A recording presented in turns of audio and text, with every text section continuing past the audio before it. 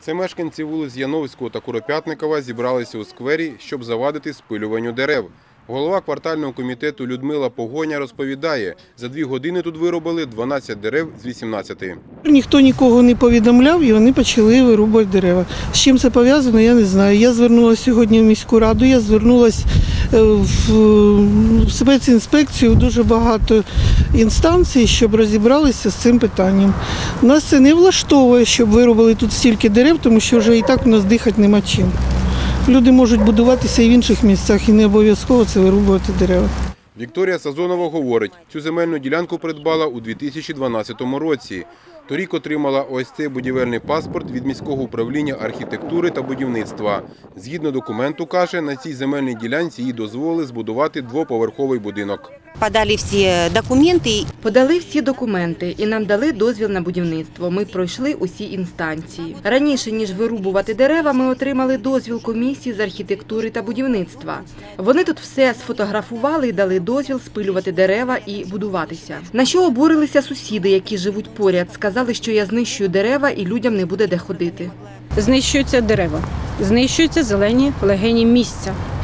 Вважаємо, що ми хоч щось можемо зробити задля того, щоб запобігти приступним діям таких співгромадян, які безсовісно знищують живі зелені дерева. Паркова зона, громадська комунальна власність, громада глибоко збурена діями окремих осіб, які зараз демонструють документацію на право власності окремих ділянок. Декілька років тому назад у нас вже поставало питання за ці дерева.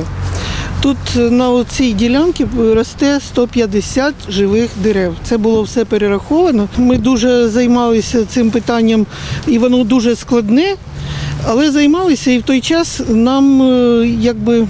Дали термін на те, щоб ці дерева не вирубувались. І їх не вирубували. Це пройшло вже 6 років.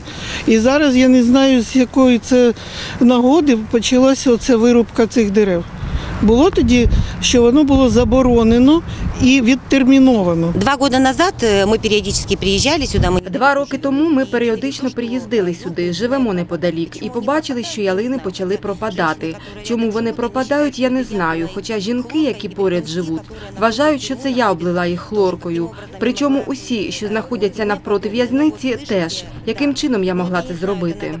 За словами начальника спецінспекції міськради Андрія Максюти, попри дозвіл, власниця земельної ділянки незаконно вирубала дерева у сквері.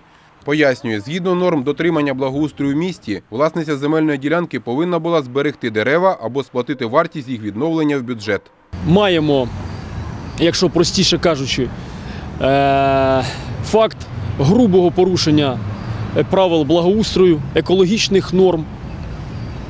Отримавши у власність земельну ділянку, люди мали, по-перше, зберігати ці зелені насадження.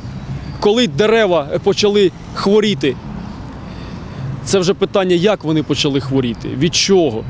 Але коли дерева, зелені насадження почали хворіти, їх потрібно було лікувати. Потрібно було звертатися до відповідних служб для фіксації, по-перше, цього факту, що дерева почали хворіти. А по-друге, вживати заходів щодо їх лікування, збереження Зі слів Андрія Максюти, на власницю ділянки за знищення 12 дерев складуть адміністративний протокол. Олександр Сметанко, Олександр Донцов. Новини.